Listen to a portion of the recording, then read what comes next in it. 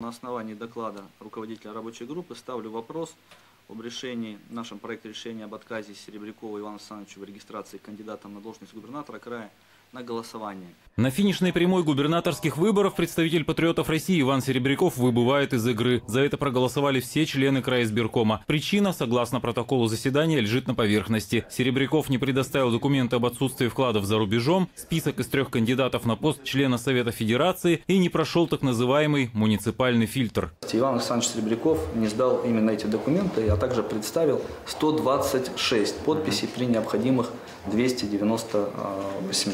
Поэтому у нас, собственно говоря, не было, я думаю, иного а, выхода, кроме как принять решение об отказе в регистрации. Сам Серебряков, для которого эти губернаторские выборы должны были стать вторыми, на заседании избиркома даже не пришел, но чуть позже собрал отдельную пресс-конференцию, общий смысл которой свелся к одному тезису. По сути, выборов нет, а муниципальный фильтр действующие руководители использовали по-своему. Приезжали депутаты с районов, говорили, что их запугивают, им говорят, что они лишатся работы, они лишат своих должностей, родственники работать не будут, если они не отдадут свои голоса за кандидатов от «Единой России», либо тех кандидатов, которые скажут непосредственно исполнительная власть Красноярского края. Прошлые губернаторские выборы Серебряков набрал 14%, и это при участии основного кандидата Толоконского и политического тяжеловеса Сергеенко. Политологи считают, что сейчас патриоты отчасти сами виноваты в сложившейся ситуации. К новым выборам нужно было создавать свою сеть муниципальных депутатов. Двум партиям, помимо «Единой России»,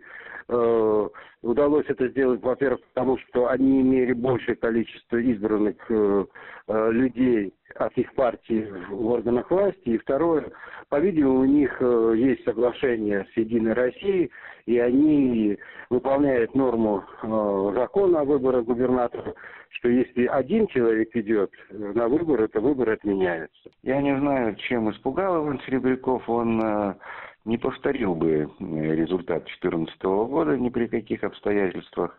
И никакой угрозы, ну, в общем-то, никому не представлял на этих выборах. Единственное, так сказать, это общая кампания в городской совет и это дополнительный ресурс компания губернаторская давала, потому что это объединяет все эти ресурсы. В эту выборную кампанию патриотов России теснят по всем фронтам. Суд принял решение отменить регистрацию всех кандидатов-одномандатников от этой партии на выборах в Горсовет. Сделано это по жалобе представителей другой партии, гражданской платформы. Прошлые выборы депутаты от патриотов заняли в Горсовете больше кресел, чем даже единороссы. Сейчас предвыборная кампания у них явно не складывается. Суд считает, что не представлены документы, заявления не тому избирательному объединению, наименование избирательного объединения местного не соответствует э, наименованию, которое указано нашей юстицией. Будет ли у них шанс повторить былой триумф, станет известно на следующей неделе, когда решение суда будет обжаловано или окончательно вступит в силу. Иван Серебряков также намерен доказать, что ему помешали собрать нужное количество голосов муниципальных депутатов и отстаивать свое право избираться в суде. Или доказать, что другие кандидаты были зарегистрированы неправомерно. По его словам, для этого тоже есть доказательства.